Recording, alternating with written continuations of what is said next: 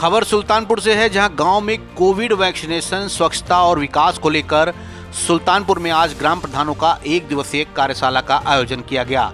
जिसके अंतर्गत प्रधानों को प्रशिक्षित किया गया। कार्यशाला का आयोजन जनपद के कादीपुर तहसील में किया गया, जिसकी अध्यक्षता मुख्य विकास अधिकारी अतुल वस्त ने की।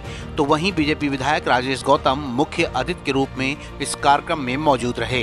कार्यशाला के आयोजन का मुख्य उद्देश्य नवनिर्वाचित ग्राम प्रधानों को विकास योजनाओं के बारे में बताना था कि कैसे विकास कराना है। जनधन योजना, शौचालय, आवास हो, प्रदेश को केंद्र सरकार की योजनाओं के बारे में ग्राम प्रधानों को प्रशिक्षित किया गया। साथ ही साथ प्रशिक्षण के दौरान सबसे अहम मुद्दा रहा कोविड वैक्सीनेशन और गाँव में स्वच्छता का। सीडीओ ने ग्राम प्रधानों से अपील की कि आप लोग अपने गाँव में ज़्यादा से ज़्यादा लोगों को समझाकर वैक्सीनेशन कराएँ, जिससे कि कोरोना जैसी महामारी से बचाव हो सके।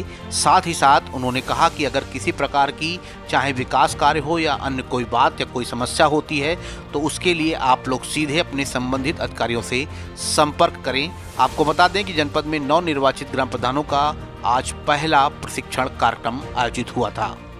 आज हम लोगों ने कादीपुर ब्लॉक में पहला ऐसा प्रोग्राम किया।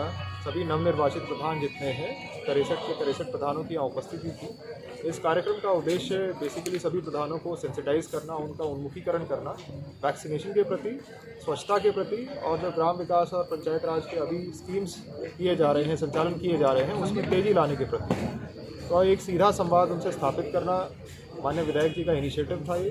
उसी के क्रम में आज हम लोग यहाँ उपस्थित हुए थे। ग्राम प्रधानों से क्या उनको दिक्कतें आ रही हैं वैक्सीनेशन को कैसे हम और अच्छा कर सकते हैं और कैसे जन जन तक तेज से तेज जितनी वैक्सीन हमारी उपलब्ध है, उसकी वेस्टेज कम हो पाए।